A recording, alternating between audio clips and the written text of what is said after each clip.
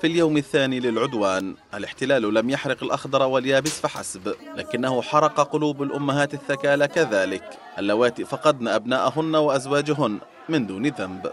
البكاء والصراخ والعويل في كل زاوية في قطاع غزة. سقوط الشهداء يتوالى في قصف المنازل. ما فرحش يما والله يا أخوي ما فرح مهدي. مهدي من تبعين 2005 يا شريف ما فرحش عقفه زي الناس يا أخوي. حسبي الله عليهم أولاد الحرام. والله ما فرح الغلبان طول عمره شقيان. نفسه يسوي للأولاد حاجة. لما بنينا الدار فرح وقال بنينا خلص الحمد لله. ما قدرش يعلم الأولاد يا اخويا ما قدرش يعلم خششنا الولد مرة فصل وقعدناه لا إله إلا الله. خششناه فصل وقعدناه كنا فرحانين لما نجح يا اخويا أولادي حسبي الله عليك يا هذا الأب المكلوم بدا في حالة هستيريا بعد فقدانه لثلاثة من أبنائه أمام ناظريه ويتحدث بمرارة كبيرة عن الجريمة التي اقترفتها العائلة لتلقى هذا المصير.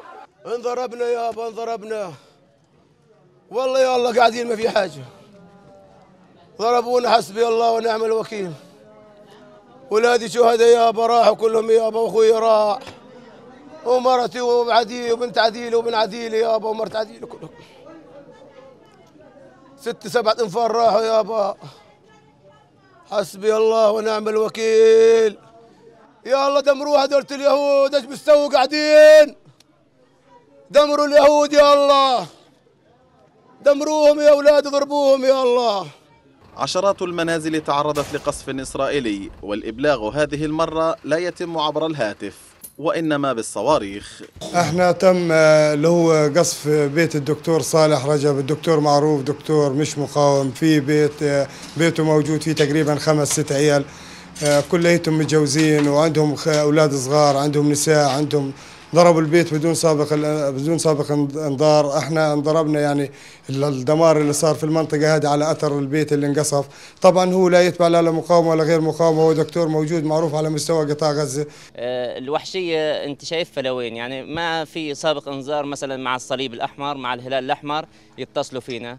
خبطوا بصاروخ زنانة. العنف العنف مبين عندهم إنه أنت بتحدر ناس بصاروخ زنانة. طب ما هو صاروخ الزنانة نفسه بضرر المنازل وبضرر البني آدمين. مع اشتداد وطأة القصف وتزايد التهديدات الإسرائيلية بتوسيع العمليات العسكرية. تتصاعد الدعوات بردود قوية للمقاومة الفلسطينية.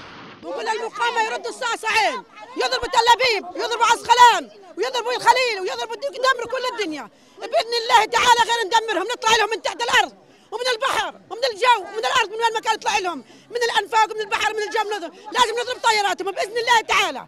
طب تطلع العباسي ولا الهليكوبتر لازم ننزلها بقول للعالم العالم كله واقف صامت. العالم كله والدول العربية بالذات قاعدين بكاتلوا في بعضهم قاعدين بكاتلوا في بعضهم. ومخلينا إحنا للعدو الصهيوني يتحسروا ماتوا عليهم يا رب. محمد الأسطل تلفزيون القدس من بلدة بيت لاهيا شمالية قطاع غزة. أينما أذهب عنواني يبقى دائما القدس. أنتم أيضا يمكن أن يكون لكم عنوان في القدس dot com. ادخلوا الآن إلى mail dot القدس dot com. إيميل القدس الإيميل العربي الجديد.